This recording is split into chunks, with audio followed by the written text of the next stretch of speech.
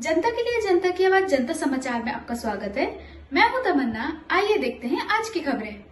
सावन सोमवार के माह में हम आपको घर बैठे एक ऐसे शिव मंदिर के दर्शन करा रहे हैं, जिसकी स्थापना राजा बली ने नर्मदा घाट के किनारे की थी, जिसे पूरे भारत में लक्ष्मी नारायण मंदिर के नाम से जाना जाता है। जबलपुर के नर्मदा घाट के किनारे स्थित गोपालपुर में 1100 वर्ष पुराना यह मंदिर है लक्ष्मी नारायण मंदिर। इस मंदिर को लोग पचमढ़ा मंदिर के नाम से भी जानते हैं। वैसे तो 27 शिवलिंग इस मंदिर में स्थापित है, लेकिन देश के 12 ज्योतिर्लिंग की मूर्त इस मंदिर में नज़र आती है।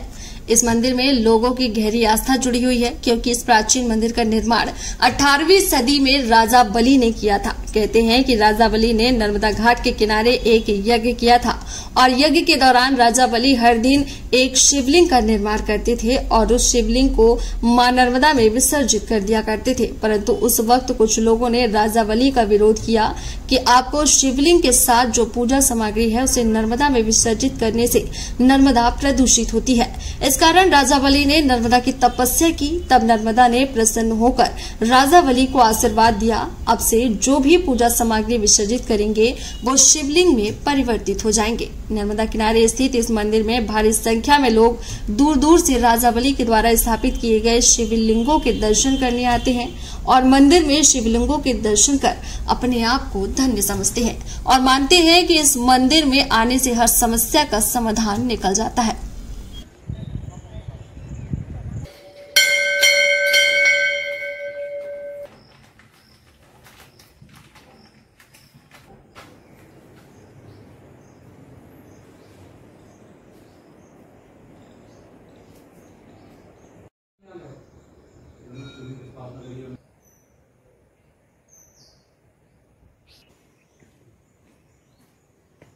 ये स्वयं सिद्ध पीठ श्री लक्ष्मी नारायण मंदिर है। यह लगभग हज़ार ग्यारह सौ वर्ष प्राचीन मंदिर है। यहाँ पर वर्णन आता है, राजा बलि ने यहाँ पर यज्ञ किया है। तो जब राजा बलि यज्ञ करते थे तो लोगों ने विरोध किया कि आप जो शिवलिंग बनाते हैं, पार्थिव शिवलिंग मिट्टी के तो यहाँ पर प्रदूषण होता है। तो उन्होंने विरोध किया। तो उन्होंने जैसे ही प्रश्न किया तो भगवान ने उन्हें प्रश्न किया, राजा बलि ने।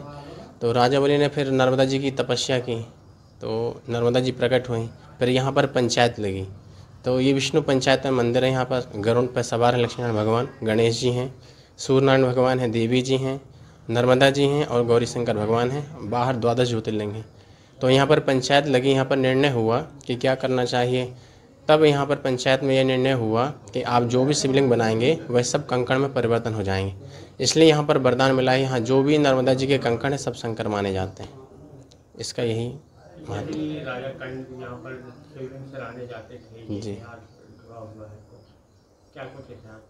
तो तो ये राज्य यही वर्णन आता है कि जितने भी जो शिवलिंग बनाते थे वह पार्थिव शिवलिंग वह सब कंकड़ हो जाते थे। तो वहीं से वर्णन मिला है कि जितने भी कंकड़ सब शंकर माने जाते हैं। श्रावण मास में अभी कुछ दिन पहले ही नेपाल पशुपतिनाथ से आए थे लोग। यहाँ पर दर्शन किया, पशुपतिनाथ मंदिर में दर्शन किया, लक्ष्मण जी का, द्वादश द्वादश ज्योतिर्लिंग का दर्शन किया है। जो भी श्रद्धालु आते हैं उनकी मनोकामनाएँ लोग अपने अनेकों प्रकार से जो भी मनोकामनाएँ होती हैं, आते हैं, जिनकी पूर्ण हो जाती हैं, वह श्रद्धा से जो भी यहाँ पर बनता है, भगवान की भंडारा या प्रसाद, जो भी करते हैं। मंदिर में कितने शिवलिंग यहाँ पर स्थापित हैं? यहाँ पर पूरे सत्ताईस शिवलिंग विराजमान है पूरे मंदिर में प्रांगण में। जी। तो मतलब क्या मानता किस प्रकार की यहाँ द्वादश ज्योतिर्लिंग तो स्थापित हैं और जिन्होंने जैसे तपस्या की ऋषि मुनियों ने तो उनकी समाधियों के स्थान पर शिवलिंग स्थापन है।